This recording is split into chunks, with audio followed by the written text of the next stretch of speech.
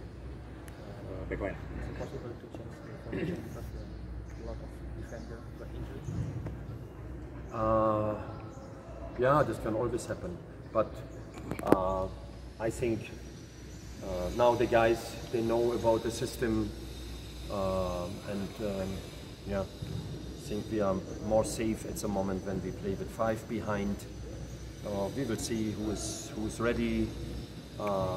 Uh, maybe in the last moment, Hansamu he say on the doctor uh, is not so worst.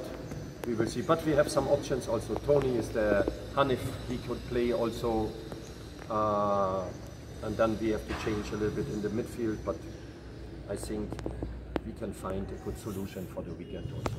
Oke, jadi untuk sem- semua bisa terjadi menurut Coach Thomas, eh, tapi yang penting semua pemain sudah, sudah, sudah paham dengan sistem yang mau di, yang Coach Thomas mau. Eh, memang sebenarnya lebih aman dengan lima pemain belakang, walaupun sebenarnya Yama bilang agak ragu dengan dokter eh, bisa gak nih hari Sabtu bermain. Ya, tapi eh, Coach Thomas punya pilihan ya, Mas Tony, Mas Hanif yang sempat main juga di, di pemain belakang dan dengan dengan konsekuensinya kita harus mengganti pemain-pemain tengah, tapi pasti Coach Thomas yakin untuk pertandingan hari Sabtu ada solusi. Oke, sip.